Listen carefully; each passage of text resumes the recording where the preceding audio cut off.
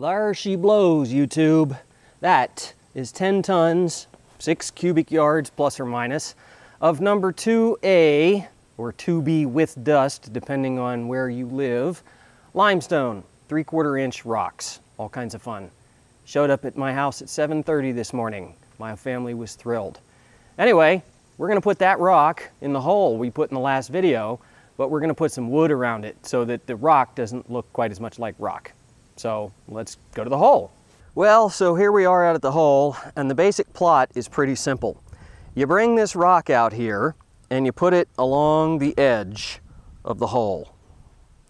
And then you take your tamper of doom and you beat the hell out of it until you have a nice flat platform on which you can set your timbers. It helps a lot if you find the high spot. In my case, that's this corner. Uh, I put a little spacer there. It's a piece I cut off of another, another timber just to make sure I get this first one in the right spot. And your goal is level. Level left to right, level front to back, level on the ends, level any way you can check it. And how do you achieve this? Trial and error. You put the wood in place, you tamp it down, you put the level on there, it's not where you want it to be. So you curse, you move the timber, you add some rock to the low spot, you tamp again, you put the timber back. It turns out you did too much.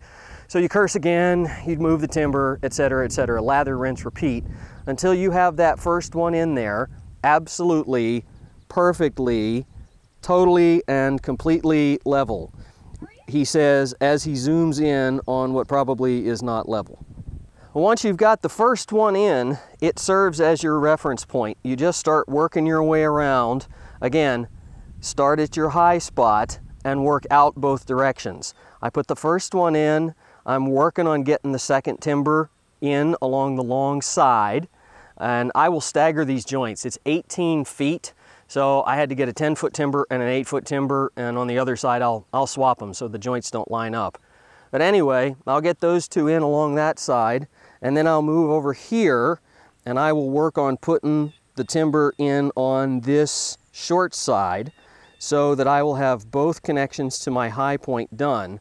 And then obviously I just work my way around. I use the existing timbers as a reference for the ones that go in last and I will end up clear over there in that far corner. Say hi, Josh. Where I'm gonna have to probably add quite a bit of rock to bring this up to level, but that's okay. I'm gonna fill this hole with rock anyway, so putting it into level the timbers isn't like it's wasted work or anything. Um, and it's a lot easier to add rock than to remove dirt. So I'm gonna get back to work here and uh, move some rock and start tamping, and hopefully today I will be able to get this thing completely framed and I'd like to actually get that pile of gravel out of my driveway. So if the rain will cooperate, which it hasn't done for two weeks now, uh, we'll make some progress. Well, this is what it looks like once you put in all the blood, sweat, and tears and you get your frame in place. This is also what it looks like when you do a crap job of backfilling and tamp it down with the tractor. Need to work on that. Uh, this is also what it looks like when you grossly underestimate the amount of rock that you need. I was a little bit tractor happy when I was digging the hole. And I ended up having to put in a couple of inches of rock that I wasn't expecting. So I'm gonna turn this into a positive and get some stone that looks a little better for the top layer. So this 2A that has all the fine chips and the dust makes a wonderful foundation, but quite frankly, it's pretty ugly. I'll spread that out nice and even, tamp it down, have a good solid base, and then I'll probably get some 2B limestone, which is just the bigger chunks. Uh, either that or we'll see how the budget is. I might spring for some river rock.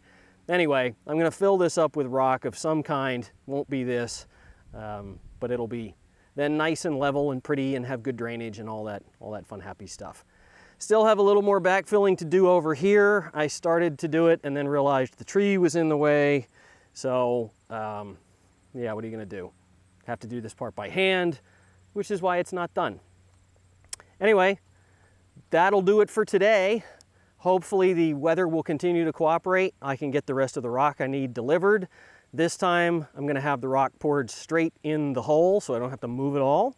And at that point, we'll be ready to actually start building a shed instead of a rock-filled hole.